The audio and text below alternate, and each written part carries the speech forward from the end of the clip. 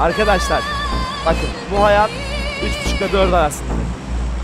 Ya 3.5 çeke çeke yaşarsınız ya da 4 dörtlük yaşarsınız arkadaşlar. Daha fazlası yok. Kapat.